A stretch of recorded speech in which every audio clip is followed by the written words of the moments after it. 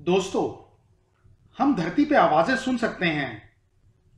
और ये इस वजह से होता है कि यहाँ वैक्यूम नहीं है। स्पेस में वैक्यूम होने की वजह से हमें आवाज़ें नहीं सुनाई देती। लेकिन साइंटिस्ट ने इलेक्ट्रोमैग्नेटिक वेव्स या प्लाज्मा वेव्स को स्टडी करके उन्हें ऑडिबल रेंज में कन्वर्ट कर दिया है।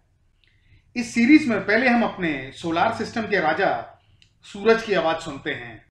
अच्छे रिजल्ट्स के लिए कृपया हेडफोन का इस्तेमाल करें।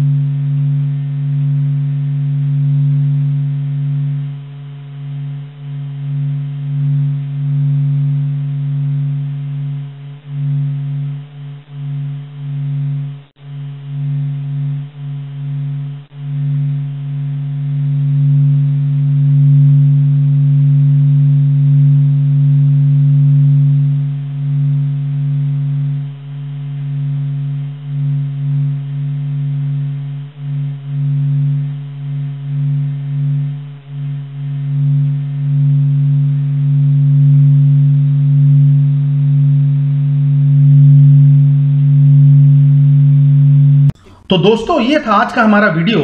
आशा करते हैं आपको ये वीडियो पसंद आया होगा। अगर हाँ तो प्लीज़ इस वीडियो को लाइक करें और इसे अपने फैमिली और फ्रेंड्स के साथ शेयर करें। और अगर आप हमारे चैनल पर पहली बार आए हैं तो इस चैनल को सब्सक्राइब ज़रूर करें। और साथ ही साथ बेल आइकन को भी दबाना ना भूलें, ताकि आपको हमारे अगले वीडियो की नोटिफिकेशन मिल सके। तो चलिए, आज के लिए बस इतना ही। मिलते हैं अगले वीडियो में कुछ इंटरेस्टिंग फैक्ट्स के साथ। नमस्कार।